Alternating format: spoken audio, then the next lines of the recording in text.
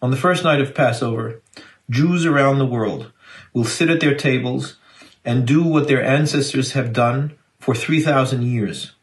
They will tell the story of their people.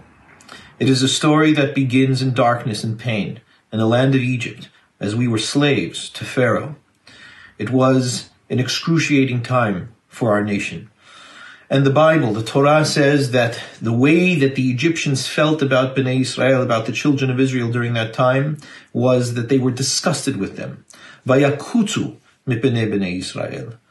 At the very dawn of our nationhood, there was already an experience of disgust, of hatred, of anti-sentiment for our people. An anti-sentiment that became known in the world as anti-Semitism. Unfortunately, as we all know too well, that anti-Semitism has run through the course of Jewish history as we have waded through the tides of time. On Seder night, we all say, B'chol dor vador in every generation, omdim alenu lechalotenu. We recognize that people have stood up against us to wipe us out.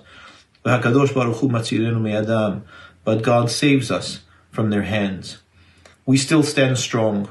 Jewish people live, even now, 3,000 years later, in our times. Sadly, though, anti-Semitism lives with us.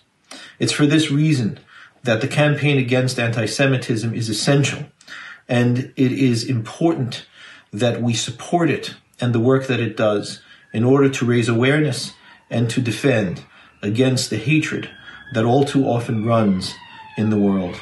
It has raised its head recently and especially during these difficult, surreal times, during the times of pandemic, when the entire world is in distress, we are sadly even more vulnerable.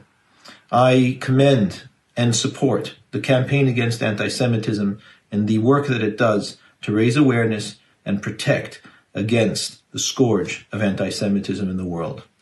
I pray for a time when the world can live in peace and that emerging from this difficult pandemic that we are facing, we do remember that it is our humanity that binds us, and that we may be able to find a way to live in peace and harmony throughout the world.